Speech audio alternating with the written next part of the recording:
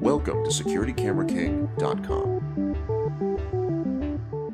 The ACP DXEL4 is a four door access control board that can handle up to eight readers. There are enough connections on this eight door access control board to wire up your electronic locks, sensors, exit buttons, and alarms. This board is designed for ease of use. Simply connect a Cat5 Ethernet cable from the RJ45 port on the control board so that any PC on your network can access the board and all of its functions using the Access software.